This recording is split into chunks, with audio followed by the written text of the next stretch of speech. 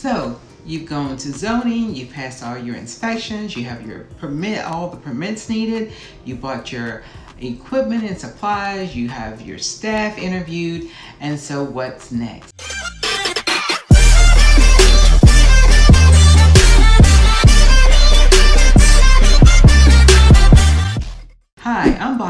Bonnie Hawthorne of BR Hawthorne Teaches.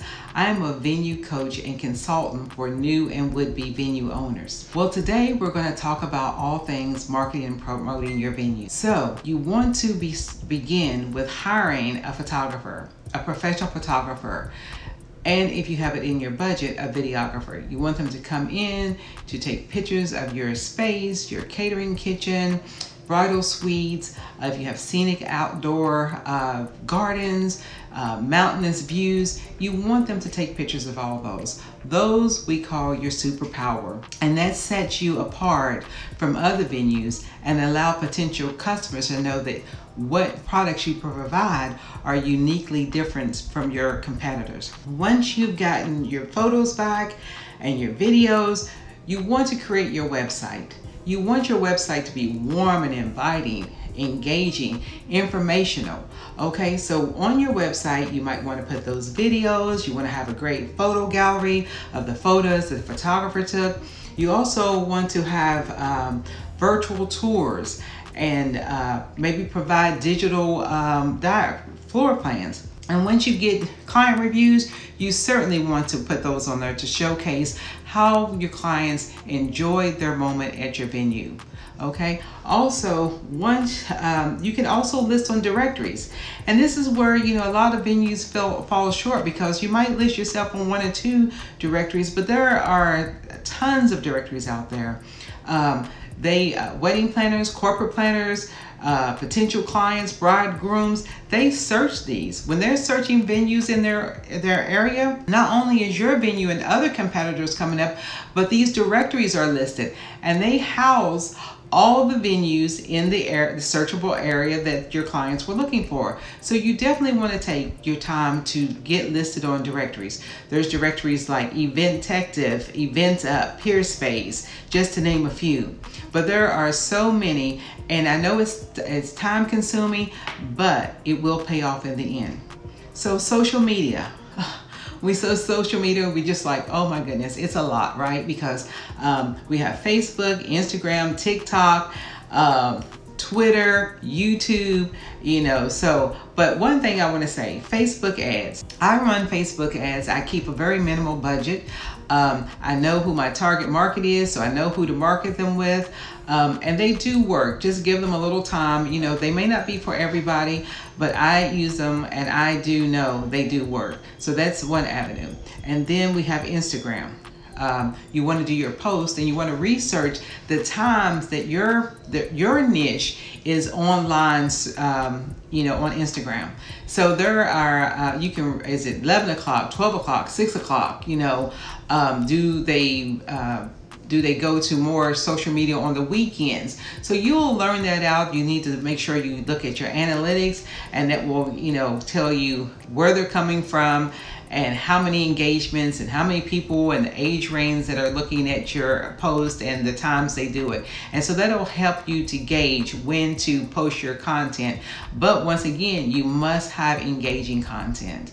All right, and if you don't know how to do that, that's one of the things that you can source out. Also, Instagram Reels. As much as I hate being in front of the camera, Reels are what it is now.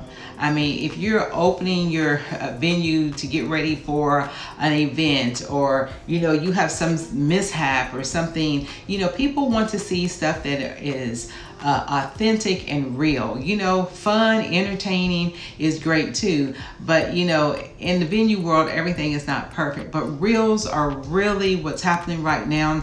And you can also use those same reels over on TikTok you know so that that's a great uh, uh, avenue to work. So i know sometimes you know like i said i'm an introvert and i have to put myself out here for my business. So sometimes we have to do what's uncomfortable to become comfortable. All right, so try those reels. I mean, uh, for me, it's you know, it's a learning curve because we have to learn how to focus those cameras and you know the lighting and you know there's a lot to it but there are youtube uh, channels that can help you with that. And then once again there are photographers and videographers that are offering um, these kind of courses. So you might want to seek those out. So one of the biggest things that i notice is that when my i have strategy calls with my clients i will google them. I Google them, I go to Facebook, I go to Instagram, and I go to their website. And some of the things that I know, one, they don't have a Google My Business page.